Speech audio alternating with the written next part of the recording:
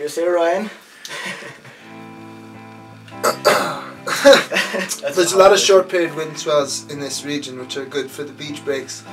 So it's a lot of weather that's generated kind of between Iceland and Norway in sort of the North North Atlantic and I guess the Norwegian Sea it's called.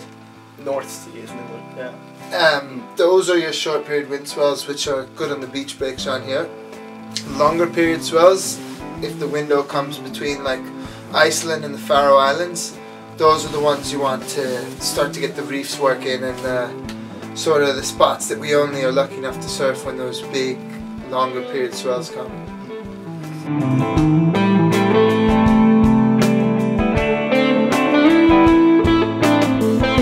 There's a lot of longboard waves for sure, especially here. We have good like waves for fishes, shortboards. Got everything.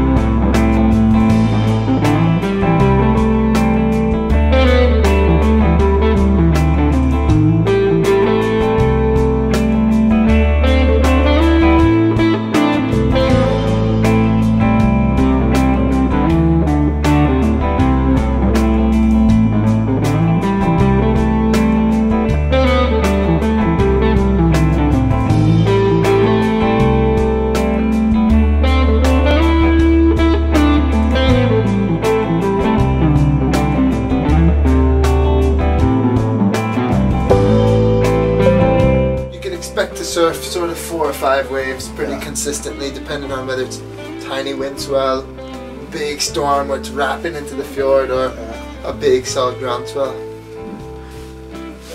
There's a lot of contour to the coast of Norway, so if you're willing to mission, yeah. there's a lot of spots around. It just takes quite a long time to get from one to the next because of the fjords and the mountains.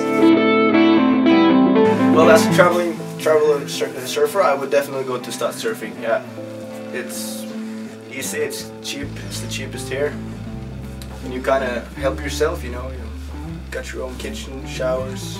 You can see the lineup from your bedroom. yeah, You can see the beach. It's only 100 meters away.